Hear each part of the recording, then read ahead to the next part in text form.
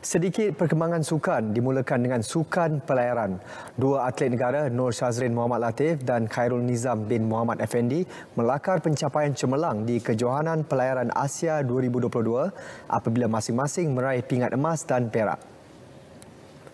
Pada kejohanan yang berlangsung di Abu Dhabi, Emirah Arab Satu itu, Nur Shazrin meraih pingat emas dalam kategori Laser Radial ILCA 6 selepas menewaskan Netra Kumanan dari India dan Nancy Highfield dari Hong Kong. Khairul Nizam juga turut membanggakan Malaysia apabila meraih pingat perak bagi kategori Laser Standard ILCA 7. Dia menamatkan saingan di kedudukan kedua di belakang Vishnu Saravanan dari India. Kejohanan Pelayaran Asia 2022 ini bermula pada 27 Februari dan berakhir semalam.